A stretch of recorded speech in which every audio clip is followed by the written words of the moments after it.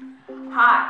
Okay, so I'm back again with another video. Um, it's been about 12 hours since I posted my first video and got 12 views and I have one subscriber, so you could say I'm doing pretty big things with this channel. Today I'm going to teach you how to do something that you probably already know how to do. I'm going to teach you how to make store-bought waffles.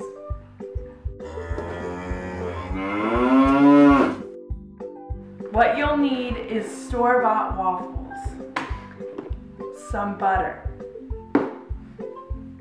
and some syrup, and a toaster. Okay, so what you're gonna do is you're gonna open the waffles.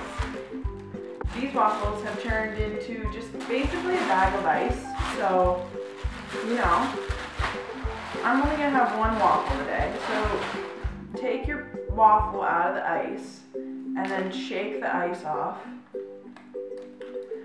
And so this is a rock, and so then you take your waffle and you just place it into the toaster. And then you turn the toaster on. Okay. Toaster's toasting.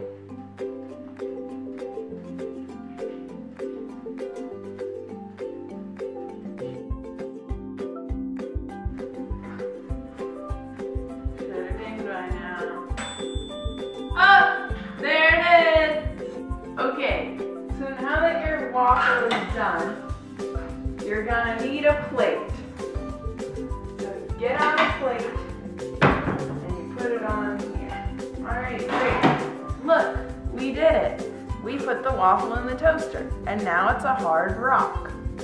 So now that we made our rock, we're gonna have to butter it.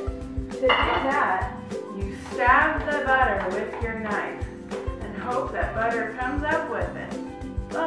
It did.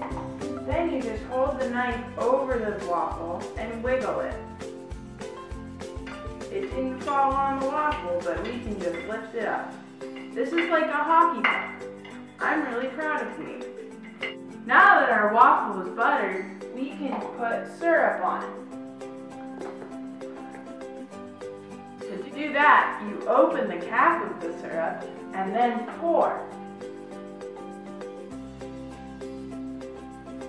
Oh, too much. Oh well. So let's try our creation. This was a very hard process. No, it wasn't.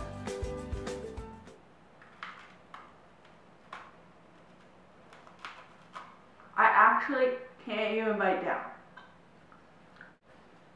Okay, so I just taught you how to make waffles, store-bought waffles.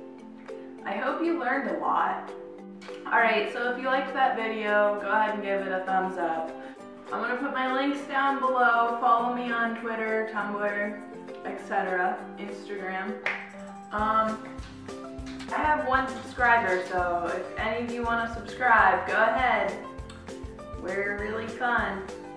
I also have 12 views, and I'm pretty sure that 11 of those were mine. So, yeah, thanks for watching. Goodbye!